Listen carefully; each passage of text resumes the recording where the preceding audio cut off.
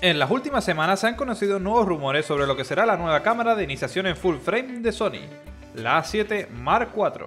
Hace casi dos años se presentó lo que fue la revolución y la cámara que cambió de percepción a muchos fotógrafos sobre las mirrorless, gracias entre otras cosas a su ampliación de batería y su magnífico enfoque. En este vídeo te presentaré algunas de las novedades que podría albergar la nueva Sony y mi opinión al respecto.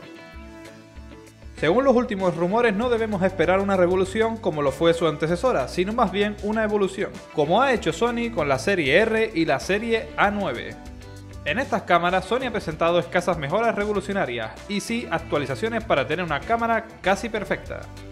Según estos rumores, físicamente se parecería mucho a su hermana mayor, la A7R4, pero con un sensor de 24 megapíxeles al igual que su anterior, la A7 III. Esta cámara sería presentada en verano, probablemente anterior al anuncio de la nueva 7S3.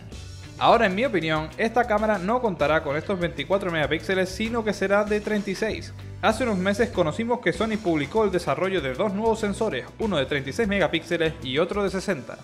Este último lo hemos podido ver en la nueva A7R4, con lo que parece obvio que probablemente se mejoren los megapíxeles de toda la serie, llegando en este caso a la cifra de 36 megapíxeles para la Sony A7 IV. Este cambio sí que sería en mi opinión una revolución y haría sin duda plantearse a muchos fotógrafos de reflex pasarse a mirrorless y a los que como yo tienen una versión antigua también hacerlo.